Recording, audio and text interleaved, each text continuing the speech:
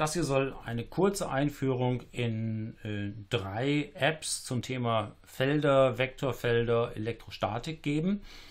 Ähm, diese finden Sie alle hier unter den Kürzeln bzw. verlinkt in dem, ähm, in dem Moodle-Raum. Ähm, in der Regel sind die alle gleich aufgebaut. Sie haben hier eine Anzeigefläche und äh, neben der Anzeigefläche können Sie verschiedene Setups und verschiedene Aktionen hier auswählen und verschiedene Parameter. Ähm, hier zum Beispiel das einfachste Setup, hier Single Charge. Sie finden hier eine ganze Menge andere, zwei gleiche Ladungen, unterschiedliche Ladungen, also eine Dipole Charge oder eben auch beispielsweise hier eine zwei leitende Flächen, also im Prinzip ein Plattenkondensator.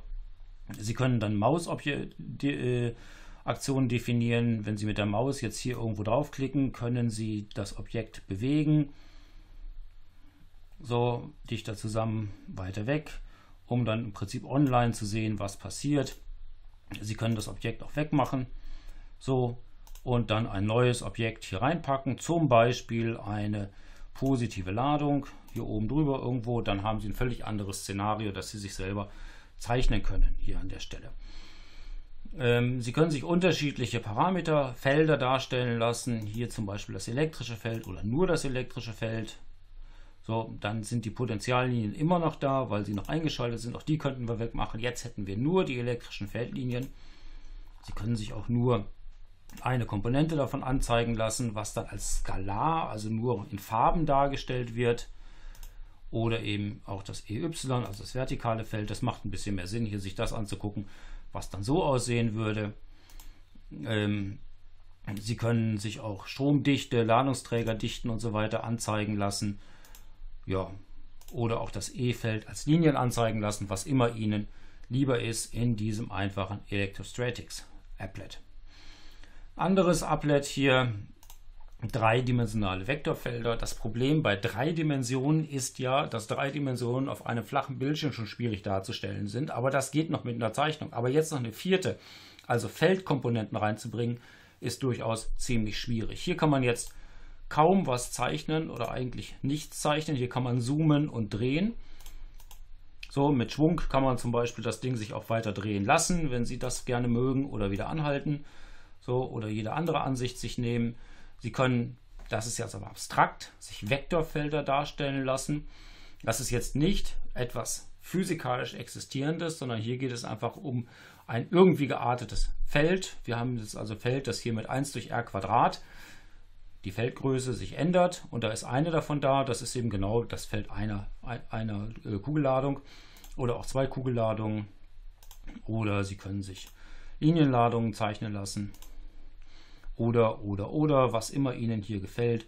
Es gibt auch irgendwie abstrakte Dinge, das ist jetzt noch kein abstraktes Ding, das ist jetzt noch was, was ich mir physikalisch vorstellen kann, aber irgendwann wird es eben auch schwierig. Man kann sich hier User-Defined Potentials oder User-Defined Fields angeben. Zum Beispiel so eine ein Feld, nur als Beispiel mal da drin, also ein Feld, das hier in irgendeiner Form rotiert, halt das X hätte ich hier reinmachen müssen und die 0 hier rein. Also kann man sich irgendetwas vorgeben. Da sehen Sie, wie die Partikelchen hier ähm, rotieren. Ähm, das können Sie übrigens, was dargestellt wird, hier auswählen unter Display, was angezeigt werden soll. Das sind jetzt irgendwelche Partikel, die auf dieses Feld reagieren. Das sind in diesem Fall physikalisch noch nicht einmal Ladungsträger im Magnetfeld. Das würde noch anders aussehen. Hm. Das können Sie aber machen nach äh, der Kraftwirkung oder auch Feldvektoren können Sie sich hier darstellen lassen. Das, das ist jetzt das Rotationsfeld, das hier angezeigt wurde, das ich eben hier definiert habe. Ja, und man kann sich Streamlines anzeigen lassen. Sie können sich auch Schnitte dadurch anzeigen lassen. Das ist jetzt sehr unspektakulär. Geben wir uns doch nochmal ein einfaches Feld wieder vor. So, also Stromungslinien, No Slicing. So, also all dieses, was eigentlich nur dazu dient, irgendwelche abstrakten Dinge wie diese Felder sich anzeigen zu lassen. Ähm, 2D-Felder, da hat man jetzt etwas mehr Chancen. Man könnte jetzt ein zweidimensionales Feld nehmen, das kann man als Fläche sich darstellen lassen. Und die dritte Dimension, die man dann noch mit Tricks zeichnerisch einbauen kann, wäre jetzt beispielsweise das Potenzial. Das heißt, also, Sie könnten ja jederzeit irgendwelche Berge, Gebirge oder so weiter mit einem räumlichen Eindruck auf ein Blatt Papier zeichnen. Sie können nicht drüber laufen, aber mit einem räumlichen Eindruck könnten Sie es sich zeichnen und das passiert eben hier. Hier ist zum Beispiel das Feld einer einfachen Ladungsdichte gezeigt. So, auch das kann man jetzt hier in unterschiedliche Richtungen drehen. Man kann sich das flach darstellen lassen, dass man von oben drauf guckt oder eben vertikal, also so schräg. Ähm, verschiedene Farben lassen sich anzeigen, das Potenzial beispielsweise oder die Feldlinien, die Divergenz oder die Rotation. Da ist nicht viel hier zu sehen. Ähm, ich bleibe bei, bei der Magnitude, Field Magnitude. Äquipotentiallinien können vorgegeben werden oder Sie können sich das Gitter vorgeben, so dass man die Gitterlinien sieht. Und auch hier kann man wählen, ob man Partikelanzeigen äh, gesehen möchte, ähm, die auf die auf die, die Geschwindigkeit anzeigen, die dann so ein Teilchen hier haben würde, also beschleunigt werden würde. Feldvektoren geht ebenso, aber dann nicht mehr dreidimensional. Ja.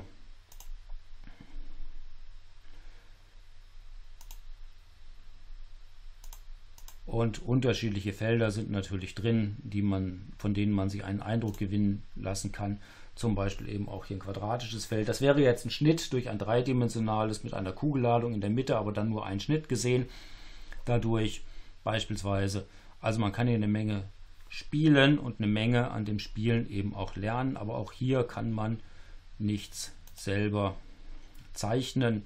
Könnte hier sogar noch ein Linienintegral finden.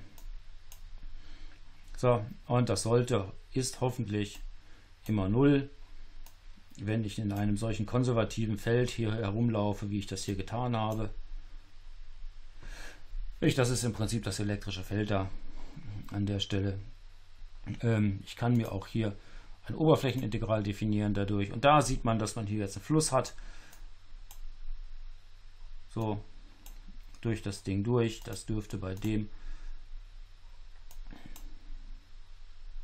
müsste es verschwinden. Genau das ist nämlich genau das physikalisch sinnvolle Feld mit eben dem Fluss 0. Also da geht so viel in dieses Rechteck rein, wie aus dem Rechteck wieder rausgeht. Also auch die Oberflächenintegrale kann man hier bestimmen und das Ganze hilft beim Verständnis der Felder.